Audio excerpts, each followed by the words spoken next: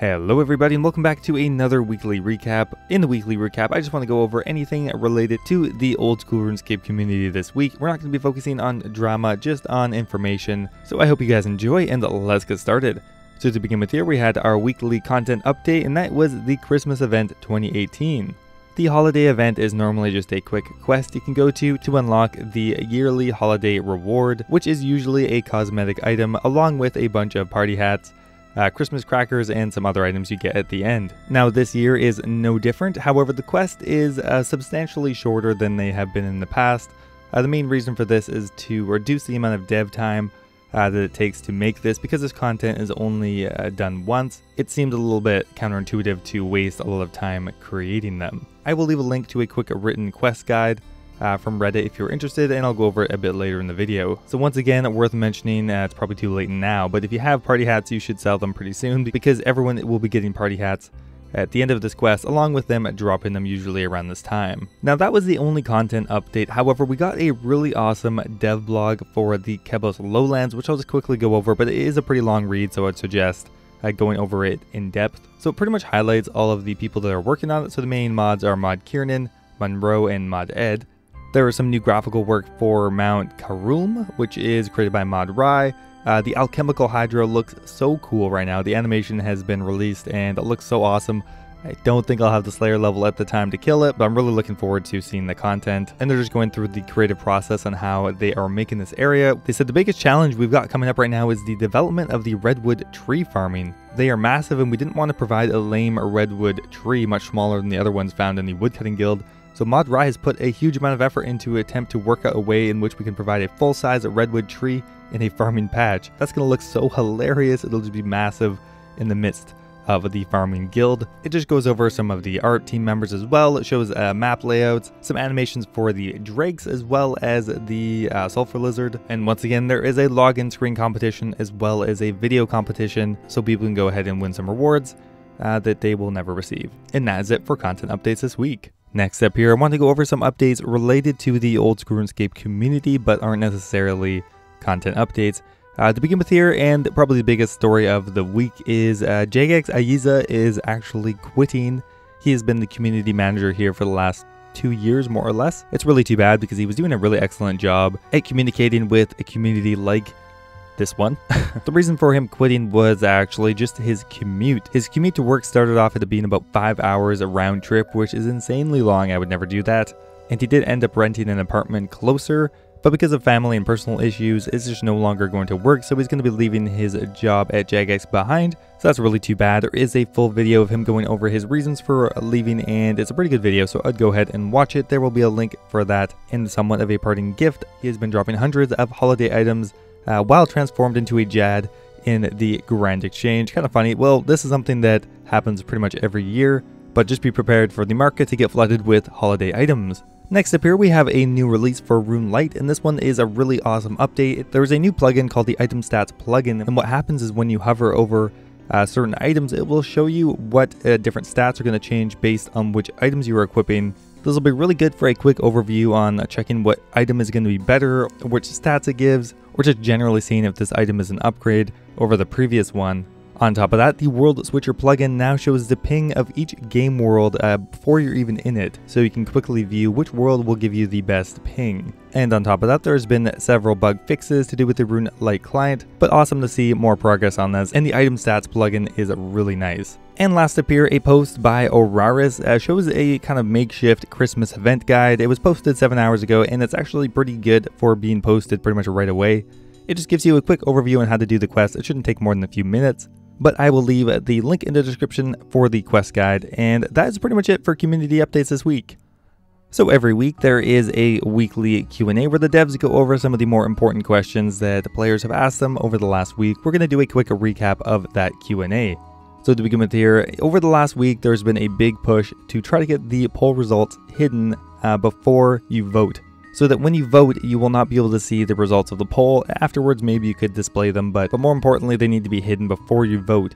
And they said hopefully next year. We are currently discussing some changes.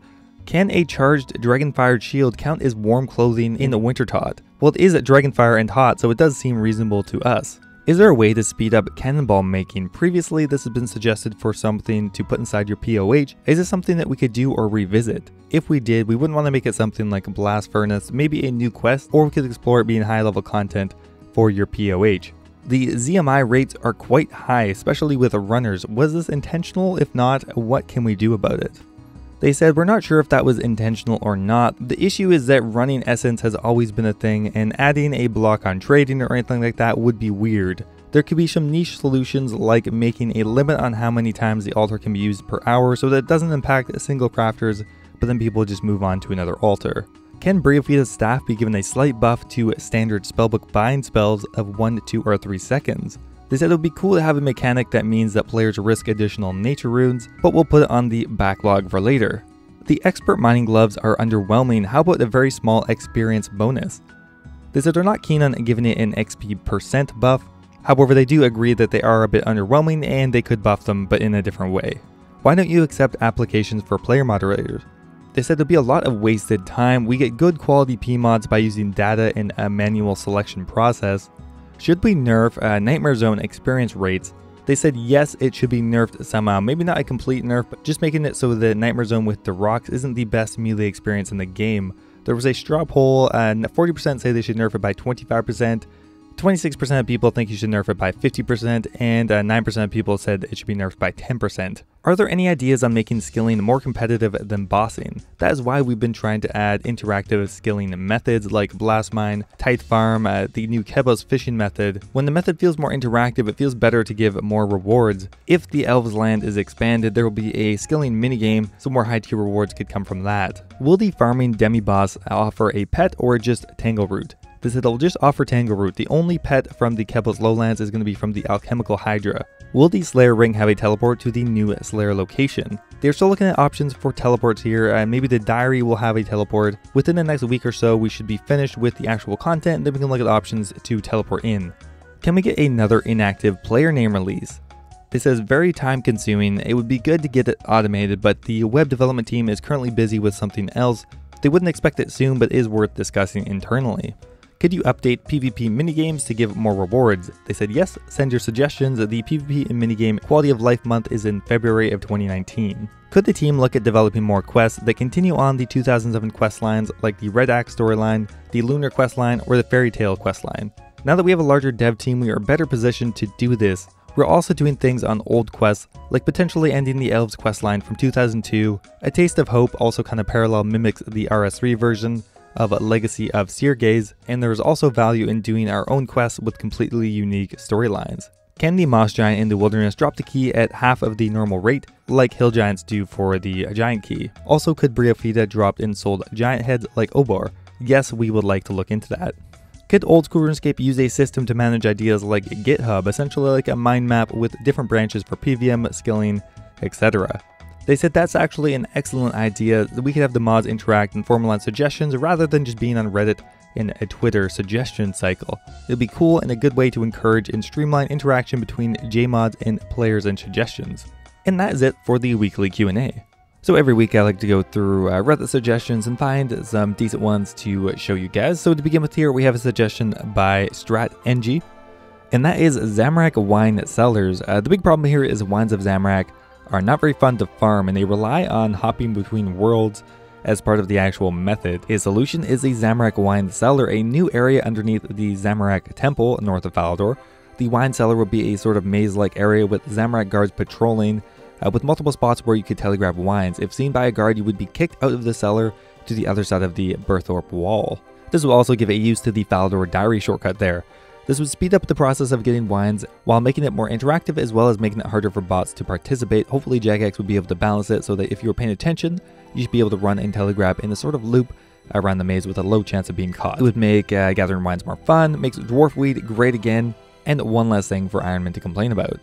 A really cool idea, and I think this would help out a lot. Next up here is a suggestion by Philomathis, and that is Remy the Giant Rat Boss. Remy is a free-to-play boss located in the basement of the Varrock West Bank behind the locked door. In order to access the boss, a player must obtain a nod key from a giant rat. The nod key would be a 1 in 128 drop rate from giant rats. It is consumed when used to unlock the door. It would introduce a new free-to-play ring with plus 1 stab, slash, and crush, and would be a very rare drop from the boss. Since FTP have literally no rings that give any stats, I think it would be kind of nice to give a ring that gives a stat in the free to play.